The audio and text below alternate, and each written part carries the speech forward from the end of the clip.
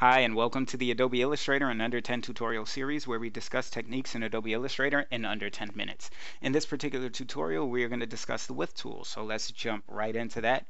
We need to first make a line segment on the board so we're going to use the pen tool and we're going to click and just make any shape any line segment. It doesn't have to be anything specific. We just want something long enough so that way we can see what we're doing on the board. And I'm actually going to change to our default colors and make sure that it's a black stroke. And I'm going to hit Shift W on the keyboard to select the width tool or if you go down in your toolbar you'll notice it looks like a Bezier handle with a big circle in the middle and there's a shape in between the actual handles and this is supposed to represent what the width tool does essentially what it does is it manipulates stroke weight at a particular point that you select. So right now you'll notice once I hover the width tool over the line segment, it will tell me, and you'll see it in the highlighted area, side 1, side 2, and total width. So it'll give me the side 1 width, side 2 width, and the total width. So side 1 is to the left, side 2 is to the right, or from the top or the bottom, depending upon which way the actual line is facing.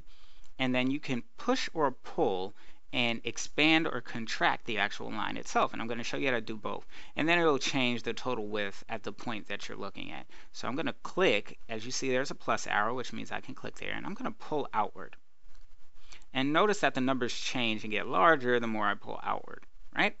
And then I let it go and then we have our values there. Now as I go along this you'll notice these values change and they decrease the further along I go on that line. I can add a point at any point there by double clicking and sometimes if I double click on the actual point that I've added I'll get the width point edit tool and not sometimes it always happens but if you double click on the point that you've just added this will come up and this allows you to change the side and so that it's not the exact same width on each side. So I can change this to a 0.1 and I can click OK and you'll notice that one of the sides is now a little bit different than the other.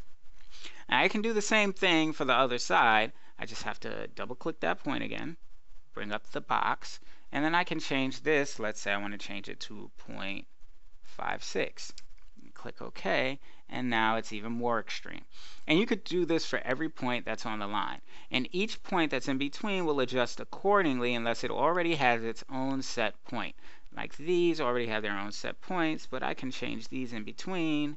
This will fluctuate that line. And you can just push and pull these. Now the benefit of this is that in doing so you can change and give yourself some unique line variations and unique line weights. You can also change and add various stroke profiles to your stroke menu down at the bottom and you can actually save these if you wanted to add it to a profile which would then allow you, let me show you real quick, I'll select that, click the drop down add to profiles. I can then change it and name it and then if I did it will show up in my profile list. But I'm going to click cancel because I don't want this in my profile list.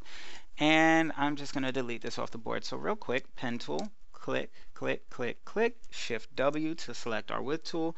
And then we can push or pull. If we have a point we can double click bring that point up.